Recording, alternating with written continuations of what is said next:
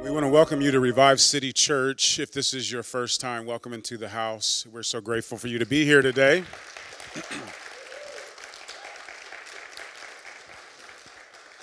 also, I want to just welcome those who are joining us by way of internet and just because of the nature of what is happening in the world with spikes uh, with COVID 19, also, this being the time of year that people just naturally get sick with colds and flus. I've had a host of people say that they're not feeling well, and so they decided to stay home, and we appreciate them um, really honoring us and, and playing it safe.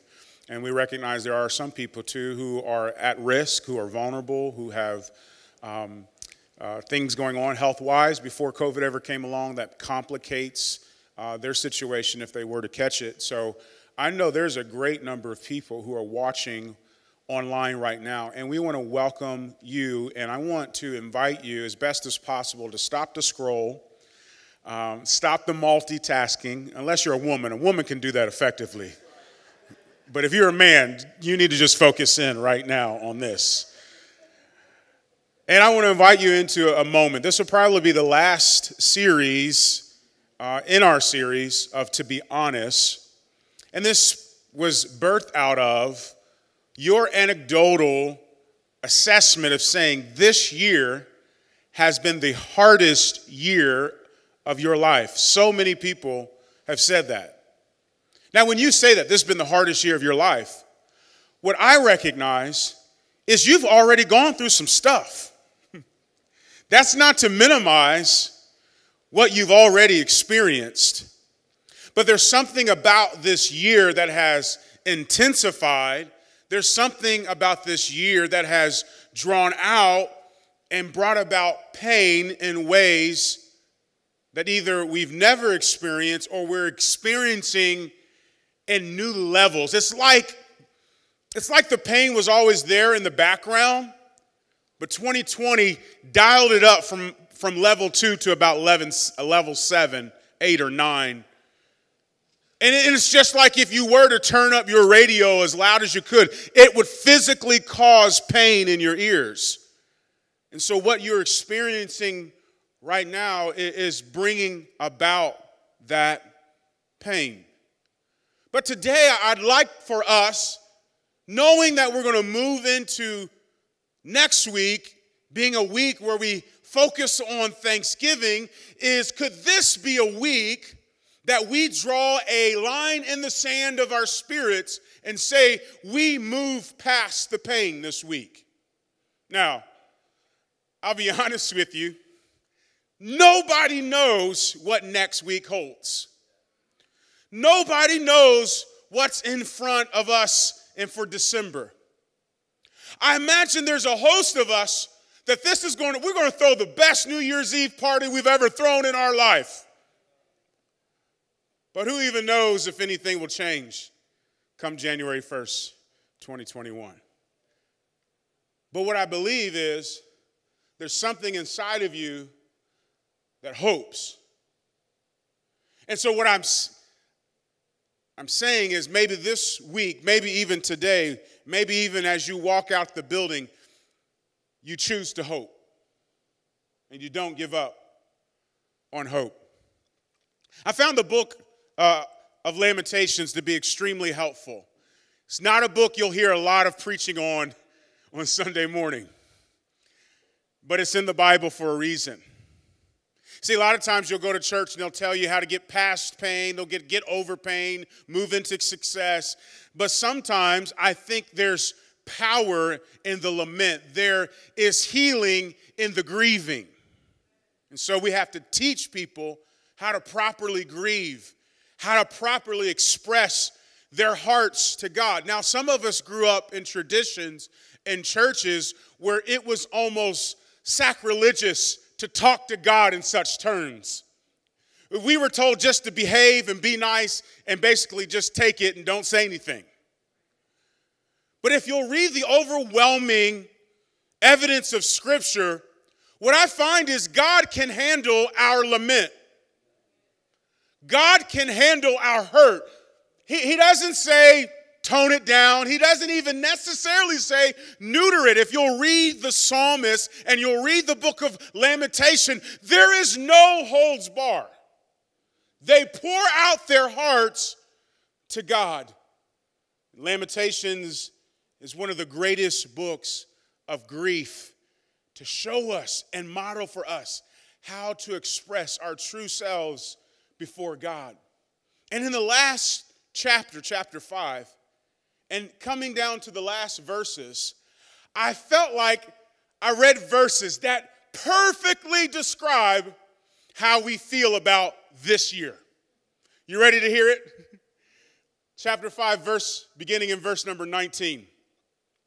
You, O Lord, remain forever, your throne from generation to generation. Here it is. Tell me if this is feels like this year. Verse 20.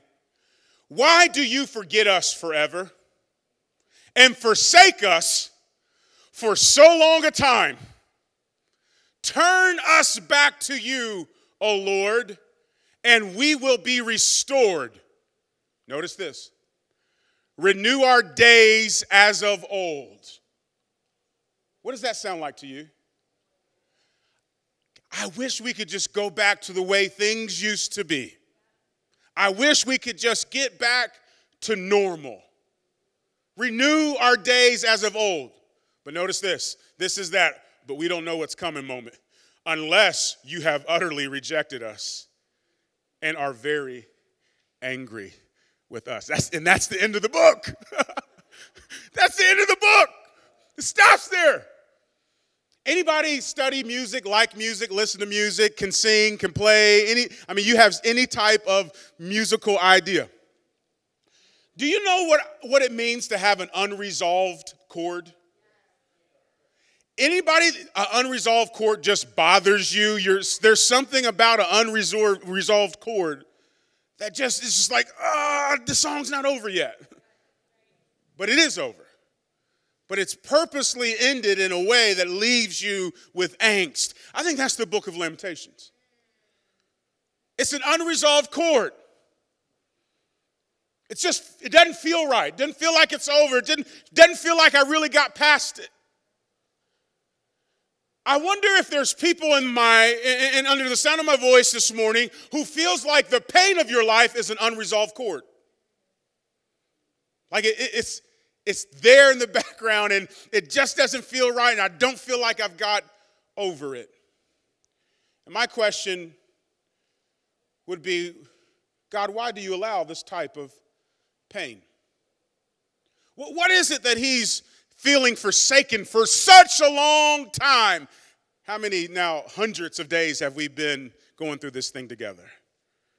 And what is it that we're asking God? Can we just get back to the way things were? And I recognize there may be somebody thinking, what the way things were, I didn't like that. I'm looking for something new.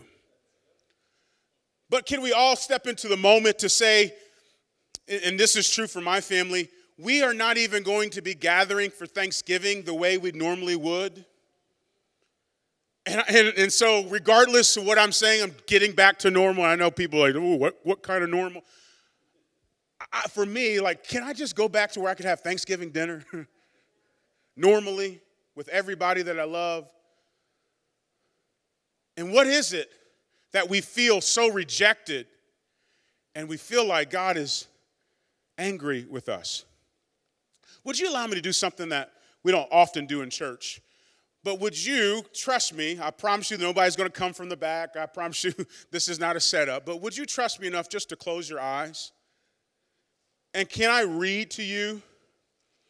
I don't know that I have the time to read all of the verses, but in chapter 3, Jeremiah, he gives the source of this pain verses 1 through 20 really sum it up well. Let me read as much as I can. But if you just close your eyes and listen, just focus on the words. I am the man who has seen affliction by the rod of his wrath. He has led me and made me walk in darkness and not in light. Surely he has turned his hand against me time and time again throughout the day. I'm going to skip to verse number seven. Verse number six. Keep your eyes closing. keep listening. See if any of this resonates. He has set me in dark places like the dead of long ago. He has hedged me in so that I cannot get out. He has made my chain heavy. Even when I cry and shout, he shuts out my prayer. He has blocked my ways with hewn stone. He has made my paths crooked. Verse 11. He has turned aside my ways and torn me in pieces and made me desolate. He has bent his bow and set me up as a target for the arrow. He has caused the arrows of his quiver to pierce my loins. I have become the ridicule of all my people, their taunting song all the day.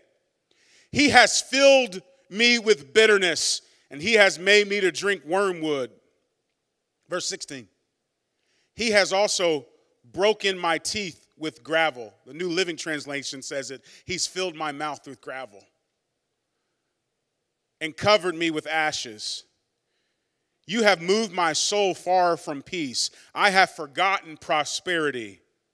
And I said, My strength and my hope have perished from the Lord. Remember my affliction and roaming, the wormwood and the gall. My soul still remembers and sinks within me. You can look at me now. Jeremiah is in the sunken place. My soul, he says, sinks within me. Now, how many of you have ever heard this phrase before? That God will not give you more than you can handle. You've heard that phrase before. God will not give you more than you can handle. How many of you think that's well, I don't want to say it that way. Is do you think the the the man who just wrote those words that we just listened to, do you think he feels that way? Do you think he feels that way? God cannot give me, does not give me more than I can handle. Now, I think I know where possibly the idea that God doesn't give you more than you can handle. Comes from actually comes from a verse in scripture in 1 corinthians uh, chapter 10 verse number 13 it says this no temptation has overtaken you except as is common to man but god is faithful who will not allow you to be tempted beyond what you are able but with the temptation will also make a way of escape that you may be able to, to bear it.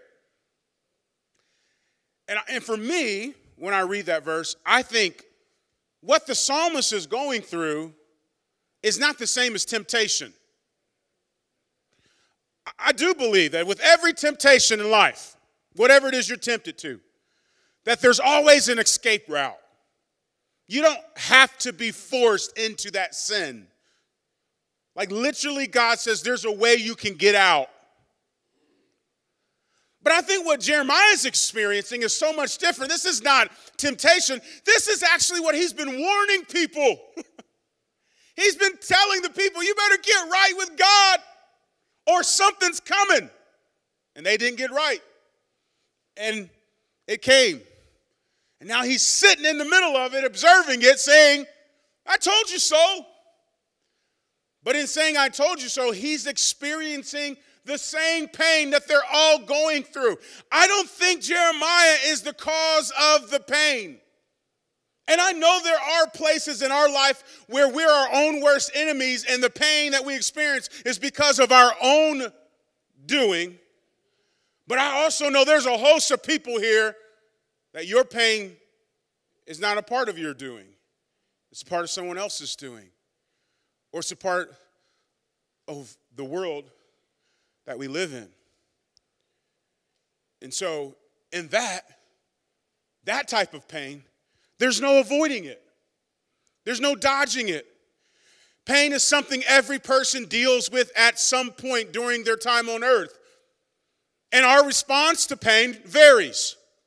How many people know people who are hypersensitive to pain? You know people who are hyper, I mean, they're a little extra And how many of us, you know, people, or maybe you're a type person where you have a tolerance, you have a high tolerance for pain. We all deal with pain differently. Some people work through it, others are paralyzed by it. Some people, and I feel like this is a big part of who we are as a church, some people spend their time trying to self medicate. I was reading this week and I was thinking about my honey boo because I'm so proud of her. She's doing such a great job. And I was thinking about how she is a blessing to me and my children, to our church, to her friends. And I was reading Proverbs 31 because I was thinking about my honey. I feel like she's a Proverbs 31 woman. But I've forgotten the, the beginning of that proverb. It's a mother talking to her son. And look what she says to her son. She says, Give strong drink to him who is perishing and wine to those who are bitter of heart. Let him drink and forget his poverty and remember his misery no more. Proverbs chapter 31 is talking about people who are self medicating. There's talking about people who are drinking and, and taking strong drink to forget their sorrows. And, and, I, and from the language of Scripture, this is what I would say when you abuse any type of substance, that every extra drink you take is a, is a, every hit is a concession. What are you conceding? That life is not worth living. Isn't that what it says? Give strong drink to him who's perishing. Whoever bitter heart, let him drink and forget his poverty and remember his misery no more. Every hit, every extra drink is a concession, conceding that life is not worth living, that life cannot get better. And so you just want to numb yourself to everything and forget everything because you would, you would say it's better just to feel nothing than to feel the pain. And what really burdens my heart is that you would rather say, I would rather feel nothing because of the pain, but in feeling nothing, there are good things that you're neglecting yourself from. There's good feelings. There is things worth living for that you have forgotten about because of the things you feel like aren't worth living for. So, what happens? This pain causes us to get stuck. And at some point, maybe you have asked yourself this question Why would God create pain? If there's a loving God, why does He cause or allow bad things to happen to good people, is the way I've heard it all my life. And that has to be one of the biggest questions in Christianity you know, again, how could a good God, how could a loving God allow so much pain and suffering in the world? All he would have to do, you know, is just change some things. Change our weather patterns so we wouldn't have tornadoes and so we wouldn't have earthquakes, earthquakes. Change the patterns of our cell, our cells so that our body doesn't cause cancer or other diseases. How could a good God allow so much pain? And that's a great question. And again, maybe you grew up in a church or a tradition where they're like, shh, don't talk about that. You're not allowed to ask questions like that. I think the Bible allows us to ask questions like that. This is the, the heart of, the, of the, the man who's writing this lament. God, why are you allowing this? Will there ever be an end to this, this pain? This is a great question. Why is God allowing the pain? And I don't know if you've asked it before, but I will be honest to say I've asked God similar questions. And here's what I've discovered God is bigger than my questions, God is bigger than my pain. God is God, God is sovereign. And if God is sovereign, that means there must be purpose for your pain. There's a purpose for your pain. I want to say this carefully because you're looking at me like, ah, where are you going?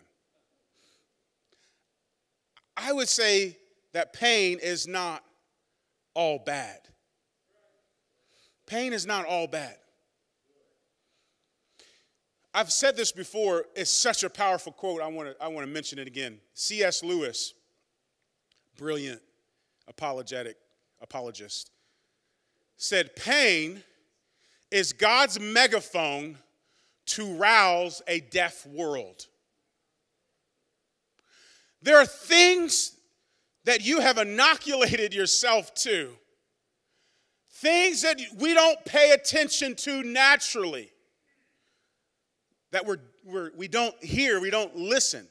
Anybody raise kids and know kids can they can hear, but they but they don't always listen? I, am saying, I'm saying it's right there. I'm saying, hey, I need you to get that. I'm saying you need to come back here. They hear. Don't you tell me they don't hear. They hear it. They got perfectly good ears that work, but they're not listening. That now never these, you know, pretty girls here in the front row, but my kids, my kids, they hear, they're not listening.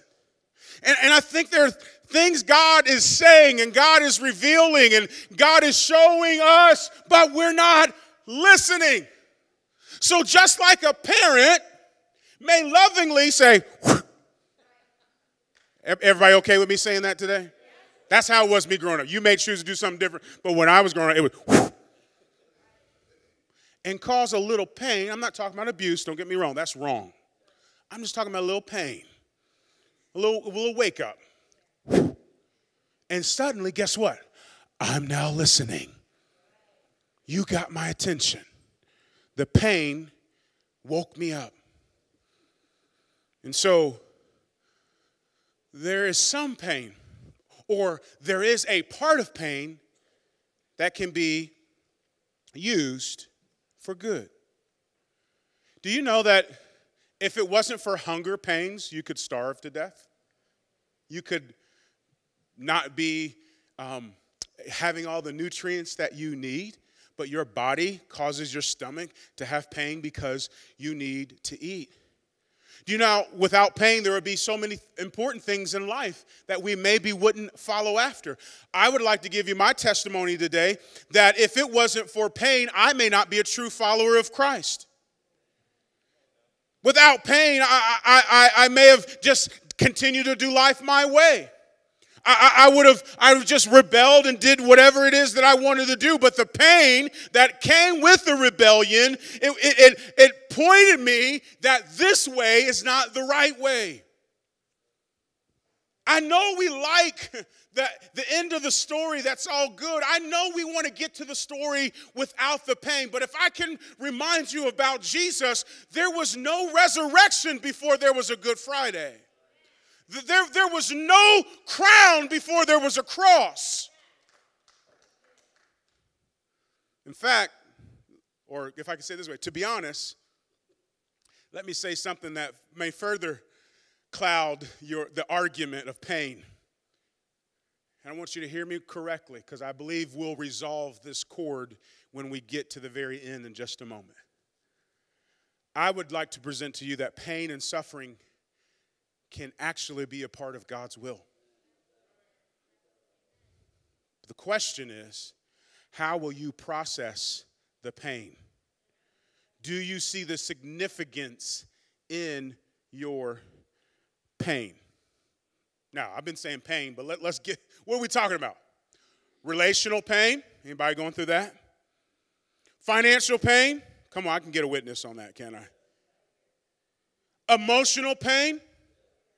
depression, anxiety, fear, addiction, loneliness, illness, sickness. I would imagine in this room, if we could put all our pain up on this platform, we wouldn't have room for me to walk around. And if I sat down with you, and in a sense, that's what we do every Sunday morning, we sit down like we're sitting down across from the table having coffee. It, I don't think it would take very long for us to really start talking about pain. Now, I know there are some people in life, they, they, they do that, and you're like, hey, I didn't want to hear about all that. How are you doing? Well, well, my back hurts here, and I got this bunion on my foot. No, we didn't need we didn't need that. But when you're walking in true relationship with somebody, you know when someone's in pain. You see it on their face, you see it in their actions, in their behaviors, and you can't help but say, Hey, what's going on?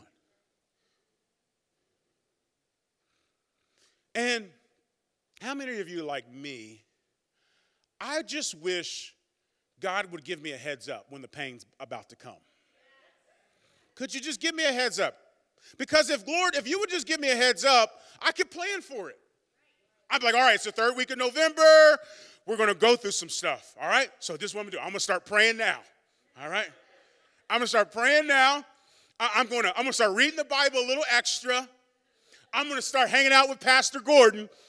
You know what I mean? Because he don't he probably don't go through that kind of stuff. I'm gonna get around him because he lives that Christian, that perfect Christian life. I'm gonna hang out with all the church people, and it's gonna be awesome because I'm gonna be ready for the pain. But it doesn't happen that way. Usually, we're blindsided by the pain. All right. Let me tell you what I'm saying. Let me try to illustrate it. Uh, not too long ago, I had some tooth pain. Isn't that, isn't that bad pain? That's some of the worst, the worst pain. And I end up going to the dentist and having to get, uh, having to get a root canal. Not just any kind of root canal, but on my molar where there's like three roots. Okay? So it's like three different times in that root. And what, did the, what does the doctor, what does the dentist tell you? If you feel any pain, let me know. Now, you got a mouth full of stuff. And so you can't talk to him. So you may make some noises, but if you move your mouth too much, you're just going to cause more pain. So he'll say something like, well, just kind of like raise your hand. Now, I can tell you after the sermon, because I'm not trying to put anybody on blast on the internet, hello. But this was the worst dentist I've ever been to in my life. The worst dentist. And so there was a couple times he got down in there, and it was like the most excruciating pain. And so I would put my hand up to say, Stop and this is the best I could describe it. It was like he only had a little bit more left to do. So instead of stopping right then and there, he went to go get that last little bit and then he'd stop. It was the most excruciating experience when it comes to teeth I've ever had in my life. Now, what happens when you have a bad experience like that? you don't go back. Matter of fact, not only do you not go back, sometimes you're like, I'm not going to any dentist. I'm not going to the dentist. Is that a good um, diagnostic? Is that the right thing to do? What could actually happen by determining because I had a bad experience of pain and now I'm just going to numb myself, I'm not going back to it to get it worked on. What could possibly happen? It can actually get worse, can it? Am I helping anybody this morning? Do you see where I'm going here? I'm not, I'm, this is not rocket science. Because I had a painful experience that I didn't like, what I say is I want to just, I just want to avoid it completely. But what I do in avoiding it completely, I make it worse. Oh, I'm talking about lamentations this morning. I make it worse. And then what happens is I wait so long, oh, help me, that it's the middle of the night now. And you can't find a dentist open in the middle of the night. But I'm going through so much pain that now I have to take emergency procedures to get rid of the pain. And I wonder how many of us, if we could have just dealt with the pain on a, on a, on a schedule, if we could just deal with the pain on a daily basis. I wonder if instead of trying to avoid it, if we could just go into it, rush into it, and say, I want to deal with the little things before they become the big things. I wonder how many emergencies in our lives we could have avoided if we wouldn't have avoided the pain. So, where I found myself in this situation was in Jewish hospital on a bed saying, Doctor, I don't care what you do. Pull the thing out, whatever. Take my jaw off.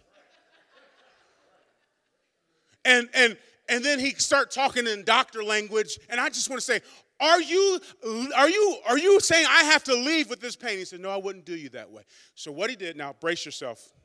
So what he did, he got the biggest needle I've ever seen in my life.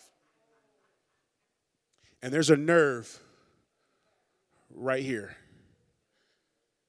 And he had to go all the way in and hit that nerve to get rid of the pain. And I wonder how many people this morning have found yourself at your last nerve. And you don't know how much more you can take or how much more you can go through.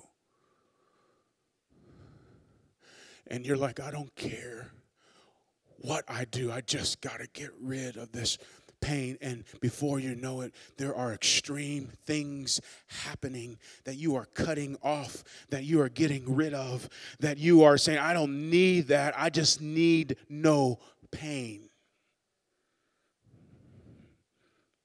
Wow. Let me make it personal.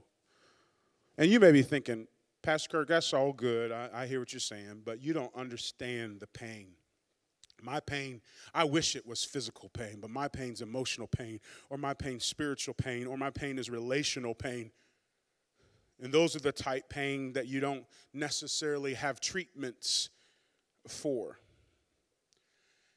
And as the pastor of this church, I have sat on the front row of our members as they have walked through some of the most painful experiences of their lives. I have walked through violence and murder and disease and overdose and tragedy. It's a part of the calling on my life to walk pe- with people when they are in the valley of the shadow of death. And I have walked through this valley of this church that we started from scratch. And we've walked through a $100,000 investment gone in one day because of a, a, lack of a sprinkler system. And we've walked through going to, uh, to grow and to multiply for the school to shut down in the middle of the year. And we've gone to get back up on our feet and, and make disciples for the school to be shut down again because of COVID 19 and not to have a place of our own. And, and I'll be honest with you, this has been partly the hardest year of my life because the, the question is when will the pain ever end? And it's just in moments like that. And I need to land this plane if they'll help me. It's in moments like that that the greatest temptations of life come.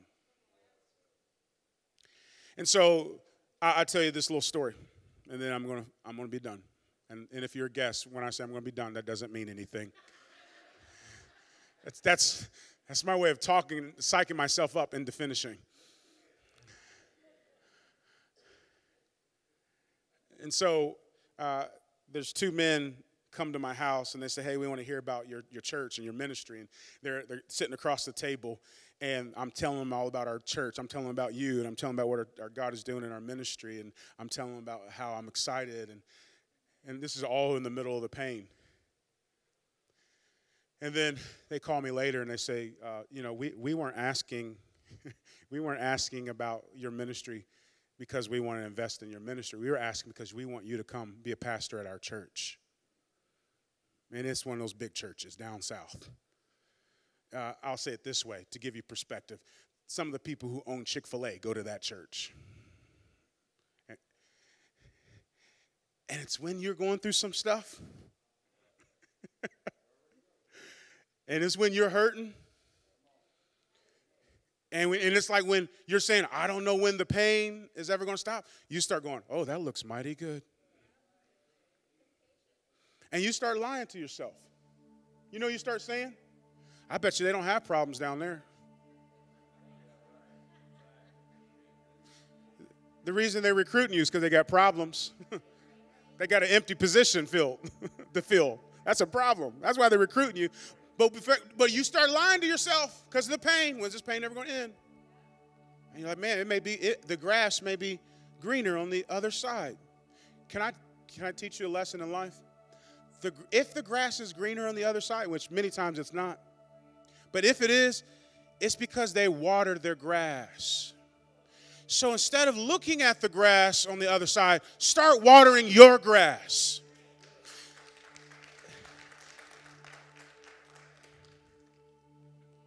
Instead of looking at somebody else's plate, eat, eat what's on yours.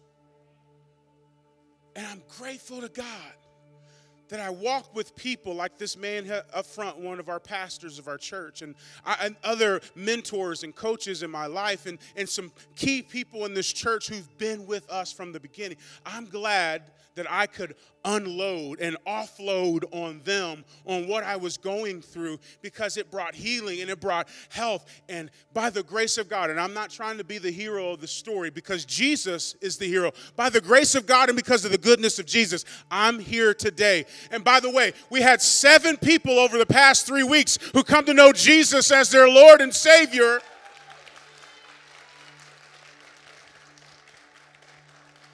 Believe God broke through in my life. And I believe the greatest days of this church is yet to come. And I'm telling you, I'll face it through the pain.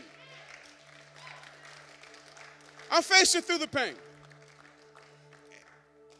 So, whatever the pain is that is driving you to think it's greener on the other side, or it would be better if I just went back to what I used to do, or I'll just drop these people, I'll drop this relationship and try to look for something new or something better. What I'm saying is, God may have allowed that pain for a purpose. And if you'll just look back in the rearview mirror, of whatever the pain may be abuse, death, despondency, divorce. The girl that you thought, man, she's the one, but she wasn't the one. The one that turned and left you and left you in pain. That child that is doing, going astray and doing whatever they want to do, and you can't do anything about it because they're grown now, or they think they're grown. The company that you thought it's okay, they're going to be for you, they're going to, they're going to stand up with you and then they laid you off. The landlord that is selling your house, even though you've been a faithful tenant for 10 years. The pain, the suffering. I want to tell you that every time I've experienced intense pain or uh, different levels of pain and different stages of pain and different uh, appearances of pain, I want you to know that ultimately, every time with that pain, every time the pain grows, every time my faith grows.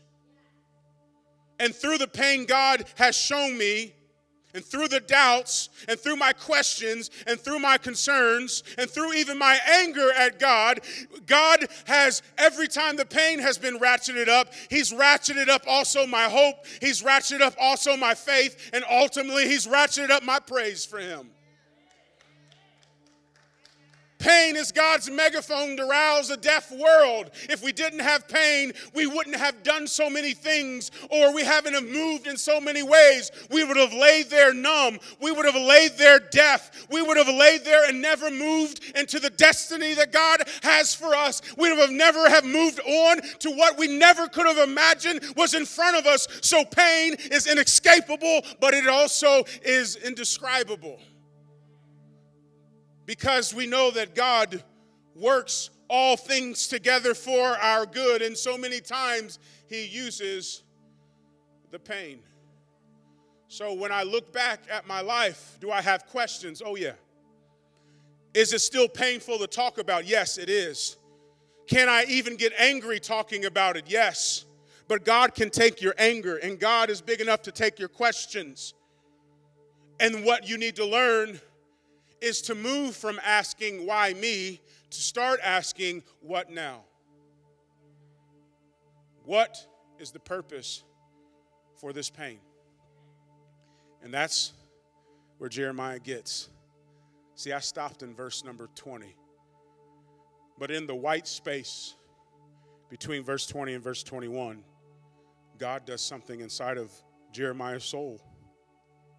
And he says, This I recall to my mind. Therefore, I have hope. Through the Lord's mercies, we are not consumed because his compassions fail not. They are new every morning. Great is your faithfulness. The Lord is my portion, says my soul. Therefore, I hope in him. Do you get the impression that he's talking to himself? Do you know every once in a while it's healthy to talk to yourself? Other people may think you're crazy, but there's nothing more mentally sane than telling yourself what to hope in, telling yourself where to place your mind and your affection and place your mind, your thoughts on things that are above. There's nothing more sane than telling your brain what your situation is and what it will be instead of allowing the unhealthiness of your own brain to lead you to places that you shouldn't be. I'm saying you, your mind controls you. Do you control your mind? I recall to my mind, therefore I have hope. It's through the Lord's mercies we are not consumed. You're like, what are you talking about? I'm going through pain. If you're still here, He's not done with you yet.